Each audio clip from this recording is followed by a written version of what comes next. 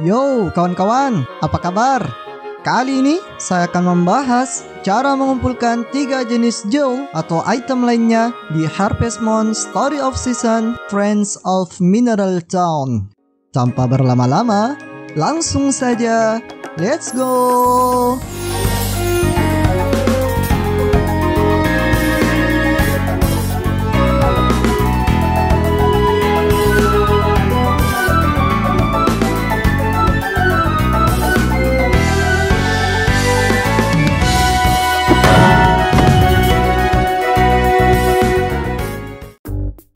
Ada tiga jenis jewel atau permata yang bisa kawan-kawan kumpulkan, yaitu Goddess Jewels, Kappa Jewels, dan Truth Jewels. Dari ketiga jewel ini, masing-masing berjumlah 9 permata. Ketika kawan-kawan sudah mengumpulkan ke 9 Dragon Ball, eh, permata tersebut, maka kawan-kawan mendapatkan harta karun yang mempunyai kekuatan khusus. Oke, untuk mempermudah hunting kalian, saya kasih tahu dulu cara mendapatkan lift. Mudah saja, kawan-kawan cukup berikan hadiah kepada Harvest Goddess sebanyak 100 kali. Ingat kawan-kawan, Harvest Goddess hanya menerima hadiah satu kali sehari. Jadi kalian membutuhkan waktu sekitar 100 hari untuk mendapatkan lift ini. Lanjut, setelah kawan-kawan berhasil memberikan 100 hadiah kepada Harvest Goddess, maka ia akan memberikan kalian buku bernama The Super Fascinating Book. Setelah itu, kawan-kawan tinggal pergi ke tambang untuk mengaktifkan lift tersebut.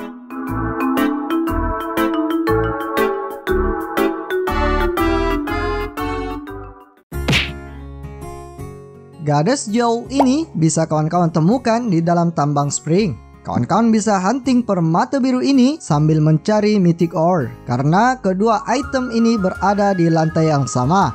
Bagi yang belum tahu apa itu mythic ore, silahkan cek video sebelumnya.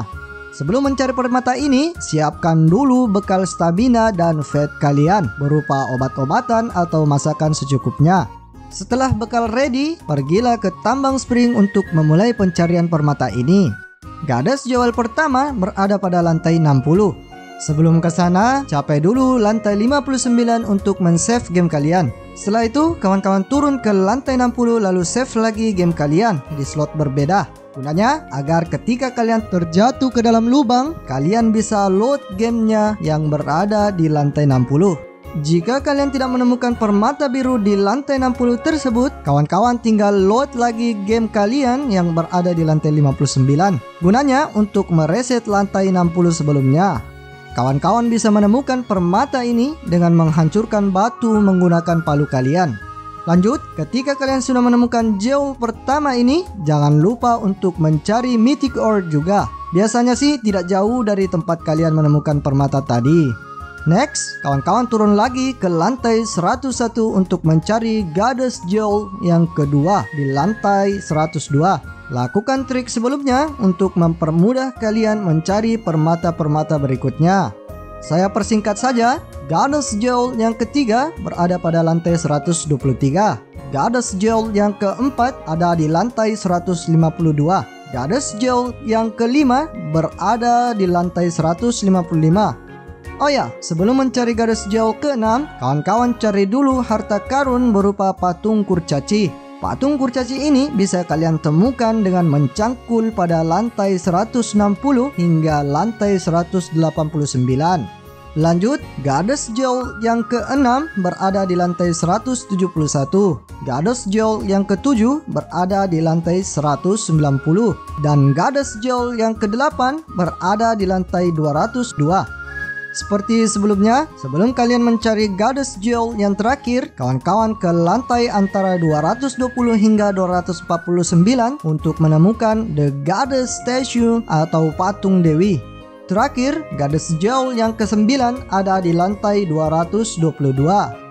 Setelah kawan-kawan mengumpulkan 9 permata biru ini, maka Harpes Goddess akan muncul dan memberikan selamat kepada kalian, lalu ia mengambil semua permata tersebut. Sebagai gantinya, ia memberikan kalian harta karun bernama Goddess Treasure. Kegunaan alat ini untuk memulihkan stamina kalian ketika berada di luar ruangan. Hampir mirip saat kalian berendam di spa. Bedanya, kawan-kawan bisa sambil berjalan untuk memulihkan stamina kalian. Lanjutkan hunting kalian kawan-kawan karena masih ada item berharga yang harus kalian punya. Capai dulu lantai terbawah dari tambang spring ini. Dasar daripada tambang ini berada pada lantai 255. Nah, di sini kawan-kawan bisa menemukan batu tomato seta. Batu ini memberikan kalian resep di dapur, yaitu resep membuat kecap. Batu ini juga bisa kalian jual ke Huang dengan harga penawaran mulai dari 68.000 gold hingga 77.000 gold. Saran saya sih kalian koleksi saja batu ini karena item ini hanya satu dan tidak bisa kalian temukan lagi di tambang mana pun.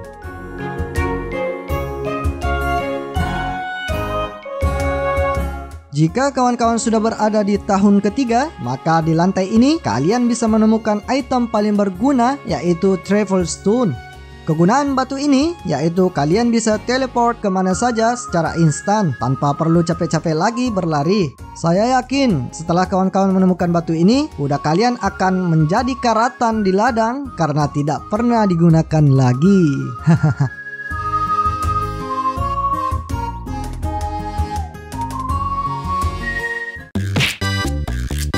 Kapajol bisa kalian temukan di tambang Winter atau Lake Min. Di tambang ini terdapat banyak sekali item berharga yang bisa kalian temukan. Di antaranya ada peralatan terkutuk. Kawan-kawan bisa cek video sebelumnya untuk mengetahui cara mendapatkannya. Oke, sebelum hunting, seperti biasa, siapkan dulu bekal dengan membawa beberapa slot obat-obatan atau masakan berupa ya mon dumpling juga bisa. Setelah bekal siap, pergilah ke tambang winter untuk mencari kesembilan permata hijau ini. Kapajol pertama berada pada lantai 0 atau pintu masuk. Lumayan sulit menemukan kapajol yang satu ini. Jika kawan-kawan kesulitan menemukannya, kalian bisa skip dulu untuk mencari kapajol yang pertama ini. Oh ya, gunakan trik yang sama seperti mencari Goddess Jol untuk mencari kapajol ini. Kapajol kedua berada pada lantai 40. Kapajol ketiga berada pada lantai 60. Dan kapajol keempat berada pada lantai 80. Sebelum kalian mencari kapajol selanjutnya, kawan-kawan ke lantai 101 dulu untuk menemukan patung kappa dengan cara mencangkul di lantai tersebut. Setelah kalian menemukannya, lanjutkan pencarian kapajol lagi. Kapajol kelima berada pada lantai 120. Kapajol keenam berada pada lantai 140.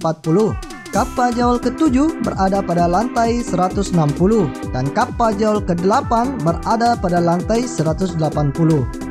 Dan terakhir, kapajol ke-9 berada pada dasar dari tambang winter ini yaitu di lantai 255. Setelah kalian mengumpulkan kesembilan permata kappa ini, bersamaan dengan itu, kappa muncul dan mengambil kesembilan permata tersebut. Sebagai gantinya, ia memberikan harta karun kepada kalian bernama kappa treasure. Kegunaan dari alat ini yaitu untuk memulihkan fat kalian atau kelelahan kalian sebesar satu poin setiap menit. Sama seperti garis tracer, alat ini hanya bisa aktif saat kalian berada di luar ruangan. Oh ya, pada lantai 255 tadi, kawan-kawan juga bisa menemukan 17 biji tambang yang di antaranya ada diamond, pink diamond, dan alexandrite.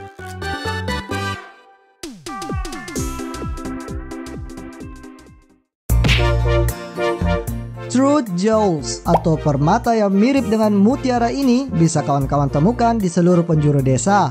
Tujuh di antaranya bahkan sangat mudah sekali ditemukan. Tetapi selebihnya sulit, bukan sulit sih, membutuhkan waktu yang lama untuk menemukannya. Kita let's go-kan saja untuk mencarinya. Truth Jewel pertama berada di kandang kuda kalian. Masuklah ke dalam kandang dan temukan permata ini di tempat minum kuda kalian dengan cara menekan tombol pick atau tombol yang biasa kalian gunakan untuk mengambil item. Gunakan cara ini untuk mengambil truth gel lainnya. Truth gel kedua berada di samping taman bunga.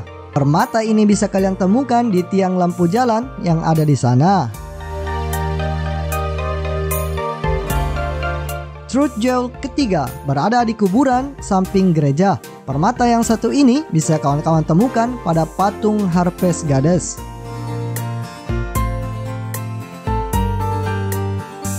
Truth Gel keempat berada di perpustakaan. Kalian tinggal naik ke lantai 2 dan temukan permata ini pada rak buku sebelah kanan.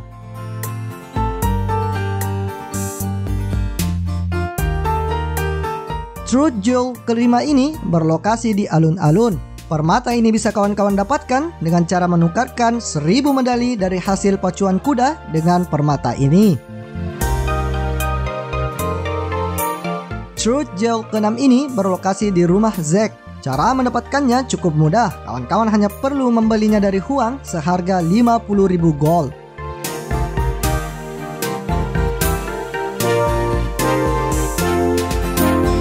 Truth Gel ketujuh. Nah ini mulai mengeluarkan banyak biaya. Cara mendapatkan permata ketujuh ini, pertama-tama kawan-kawan beli dulu villa yang ada di tengah desa atau di samping rumah Saibara. Villa ini bisa kalian beli di rumah Gods dengan harga 10 juta gold dan membutuhkan kayu dan batu sebanyak 999 unit dengan masa kerja selama 3 hari. Setelah villanya selesai dibangun di awal tahun, lebih tepatnya pada tanggal 1 hingga 5 Spring, masuklah ke dalam villa tersebut dan nontonlah TV pada saluran entertainment untuk menjawab pertanyaan soal matematika. Setelah kawan-kawan menjawab 10 soal penjumlahan tersebut, kalian akan mendapatkan Truth Gel yang ketujuh ini.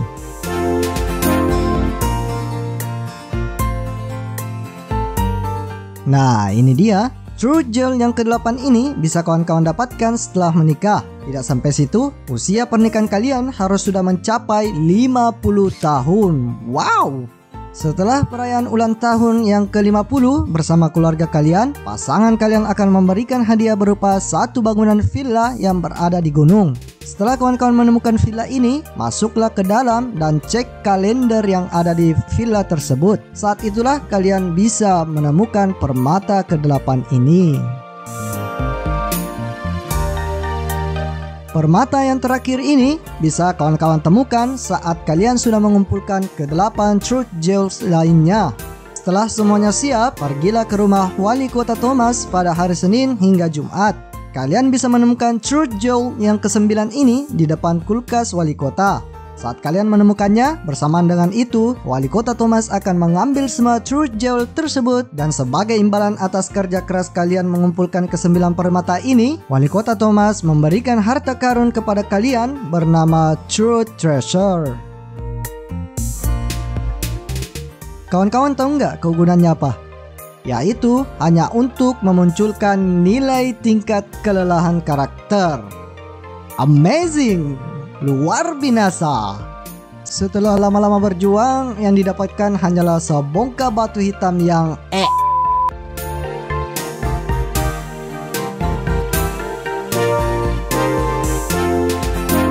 Oke lah kawan-kawan, sekian dulu pembahasan kali ini. Jika ada saran dan pertanyaan, silakan ketik di kolom komentar. Semoga konten ini dapat membantu kawan-kawan semuanya dalam memainkan game ini. Saya pamit undur diri. Sekian dan salam dari petani epic.